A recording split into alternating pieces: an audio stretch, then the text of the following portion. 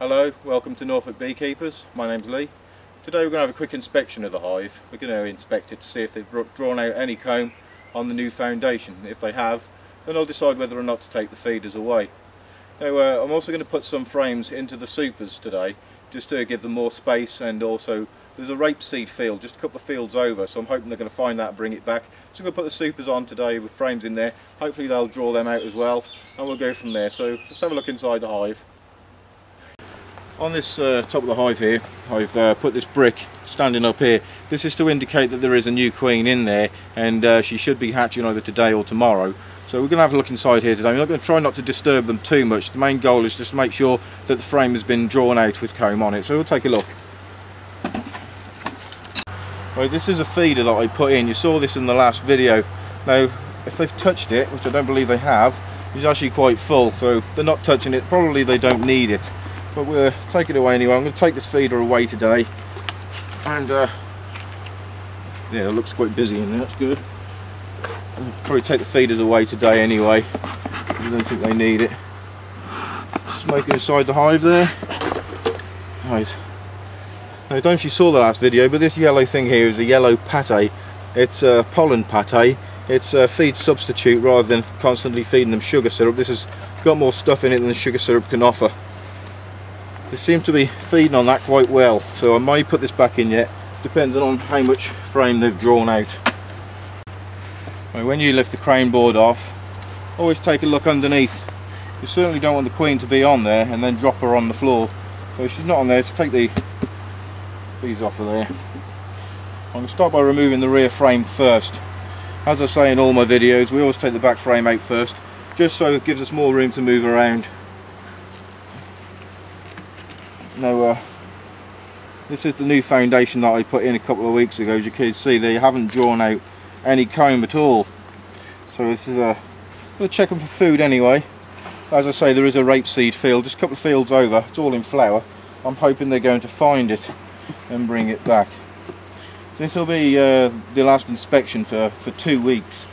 So um have a quick look. This you can see on there this frame is actually filled with food which is good. Now you can see this little thing sticking out there. This is a drone cell. This is a male unfertilized egg. They always stick out like that. They look like the end of a bullet. They're easy to recognize. Plenty of food on that frame so I don't think we're going to leave the feed in there. I'll probably take it away. This is uh, another frame of food. As you can see there's food all on there. More drone cells here. Um, seem to be doing quite well actually. I'm not going to feed them. I think I think I'll take the food away. I think I can see a queen cell in here. I'll just show you that. There it is. This I believe is the queen cell that I uh, left in there last week. You can see now that it's opened up indicating the queen has been released into the hive. So we should have a new queen in there somewhere. Taking a quick look around the frame to make sure there's no problems on there. Yeah, I do believe there's a new queen there. If you can see this at all, there's a large bee there, just on the corner of my hive tool. This bee is larger than the others. This is because this is a male, it's a drone bee. Tell them, tell them easily from a worker bee. These, they've got very large eyes, they've got a bigger body, and they don't possess a sting, so they can't sting you. Fourth frame, where is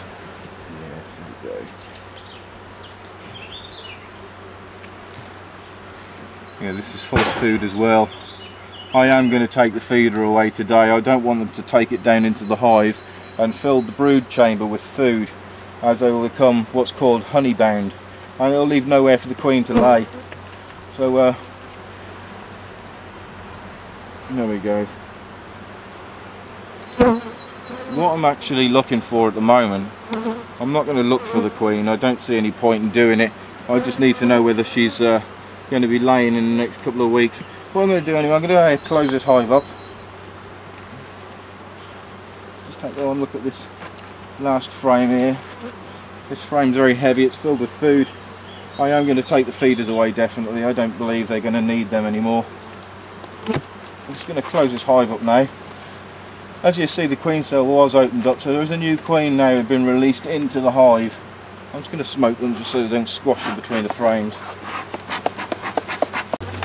This uh, super takes 10 frames, I've just counted them to make sure I do actually have enough frames to go in, which I do have 20 in total. So I'm putting one super on this hive and another super on the hive number two, which we'll take a look at in a moment. Now, as I say, I'm not going to put a queen excluder between the super and the brood box, as I want to encourage the bees to come up. Now, there are several ways to encourage the bees to come up into the super. You can uh, spray the frames of foundation with sugar water, and that will encourage them to come up. And also, when it gets full down the bottom, they'll come up and uh, fill those supers out anyway. And this is hive number two. This was a new colony we started with uh, the previous queen that we had. She's now about two years old. I will replace her next year, but she seems to be doing very well. I'm just going to go inside the hive again, check see if the comb has been drawn out, how much comb is in there, and also decide whether to take the feeders away. And then when we finish, put a super on top with some new frames in there. Next is always place the lid upside down, because when you do take the brood box or any, any box off that's got bees in it, you can put them there, you're not going to lose the bees on the floor. Well, as you can see, this is the same feeder. It's a contact feeder, holds two and a half litres of sugar syrup. I don't believe they've touched it. Actually, that's quite light. They have touched that, so they've taken this down inside the hive, which is more than what Hive 1 did. We'll take this away. Decide whether to put that back on in a moment. A large frame here, which is a frame that I put in. It was filled with food. I believe it still is, if you can see on there. There's a lot of crystallized stuff. This is, I believe, the sugar syrup that I'd put in, and they've uh, they've uh, evaporated the moisture out of it and stored it as food. This frame's very light. I'm going to put this to one side. Again, these are the new frames of foundation that I put in. I haven't drawn any comb out on it yet at all. This is also a new frame that I put in. On this side you can see there's many bees on there. They're feeding away. There is uh, doesn't appear to be a lot of food in this one at all. So I may leave the feeder on this one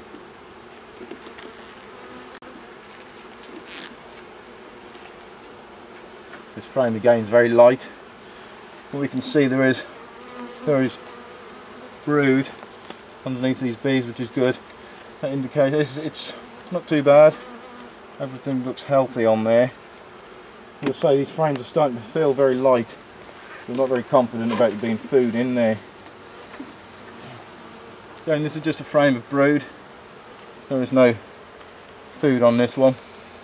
If we're lucky, we might see the queen. As I say, I'm not going to look for her. Oh, that actually, there she is. Let's go and get a photograph of this as well. There's the queen there. See the yellow dot on her back. Wait, where is she? She's there. Okay, take a couple. Alright. Wait, where is she? She's there. Just in there.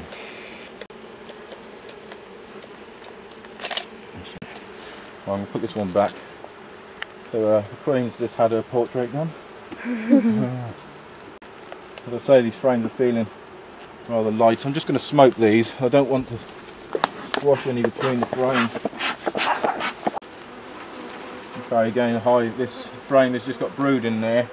I can see eggs and larvae, indicating that the queen is healthy and she's doing a job. I'm going to put this back in.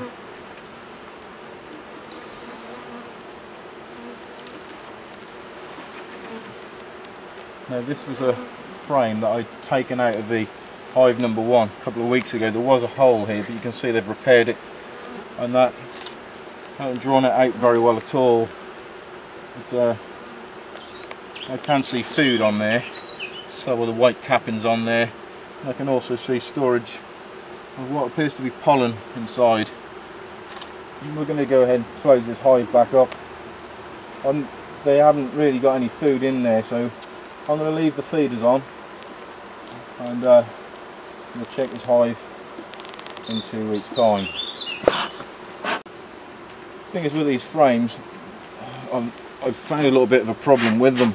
people like these, they're called Hoffman frames because on the frames you can see this piece of wood that comes out. This is an. This is just just a way of them spacing themselves. But I've noticed when I put the frames together, when these pieces of wood along here meet with the other frame, bees get in between these and they can be squashed. So yeah, they're okay for self-spacing, but you can damage a few bees putting it back together again.